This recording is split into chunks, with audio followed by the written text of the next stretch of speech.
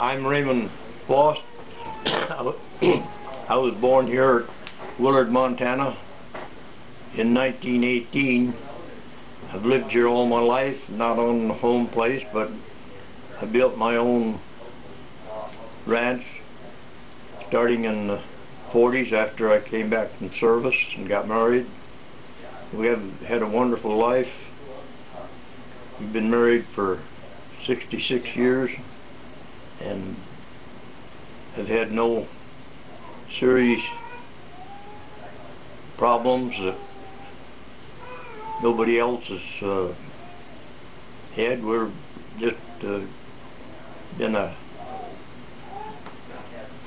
happy couple and happy family. We have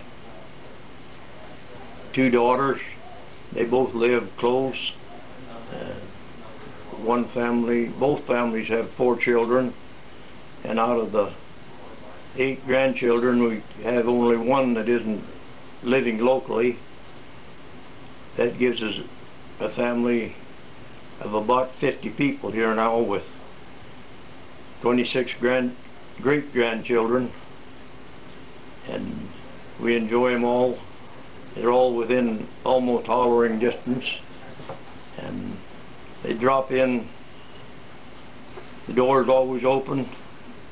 There's no knocking, no doorbell. We really enjoy them.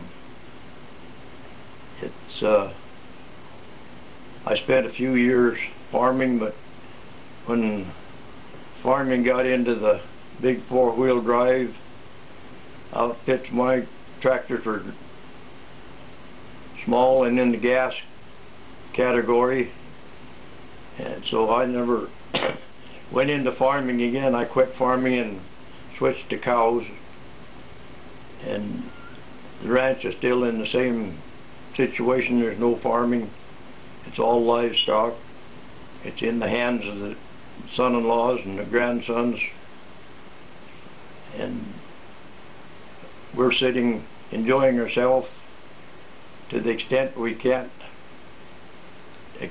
do a lot of extensive driving. We enjoy our home. It's uh, been a wonderful life.